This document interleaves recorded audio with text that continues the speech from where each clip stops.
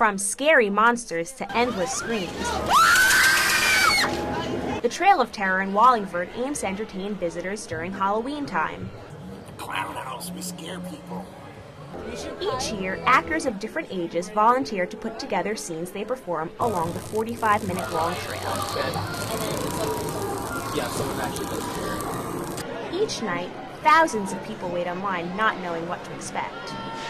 I'm not scared. I'm not scared. Uh, I'm gonna go in there and hopefully I'll get a little scared because that's why we're all here. The Trail of Terror staff has different plans for these brave souls, though.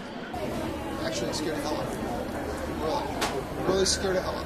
We're hoping. We're hoping. I'm scared of hell. If not, give them entertainment. There's a lot of reactions. There's people who There are some people who actually like fall over. But the actors say the joy they get out of frightening people isn't the only reason they're volunteering. I love scaring people, and it's a good cause.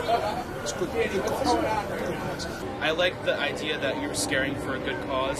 All of the actors are volunteers, and the funds go to a local charity. And uh, the local charity now that we give the majority of it is to the Wallingford Homeless Shelter. They approached us with some very good ideas of what the town of Wallingford needs to help the homeless.